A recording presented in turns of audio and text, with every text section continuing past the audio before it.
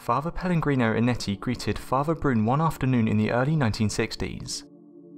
The two men had just met for the first time the day before during a ferry ride across Venice's Grand Canal. During their short conversation, Father Ernetti had said something that stuck in Father Brune's mind. The two, who were both experts on ancient languages, were talking about scriptural interpretation, when Father Ernetti remarked there existed a machine that could answer all their questions. Father Brune was puzzled about what kind of a machine could do such a thing, and resolved to bring it up again with Father Ernetti in the day's meeting. When asked about it, Father Ernetti described a device he called a chronovisor, that looked a bit like a television.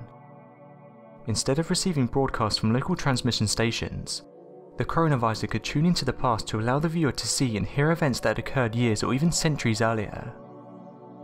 Father Ernetti told Brune that the machine worked by detecting all sights and sounds that humanity had made that still floats through space. Father Brune wanted to know if Father Ernetti and his collaborators had been able to see the crucifixion of Christ. Ernetti replied, We saw everything.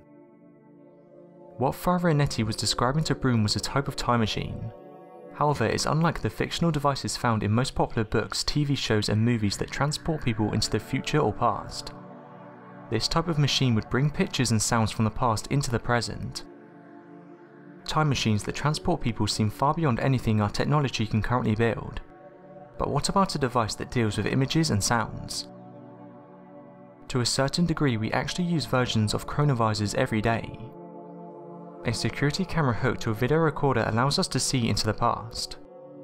Large telescopes also act as chronovisors, the distant galaxies we view through these devices do not actually look like they are today, but as they appeared when the light left them millions or perhaps billions of years ago.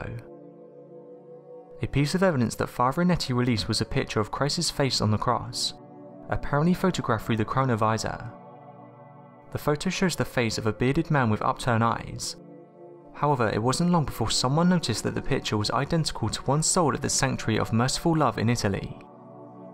After this revelation, Father Ernetti said little more about the photograph and the chronovisor. He died in 1994.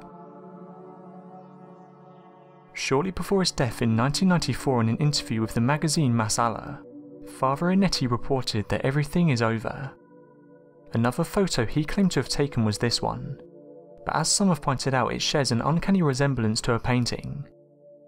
So do you think the chronovisor even existed? Let me know your theories in the comments.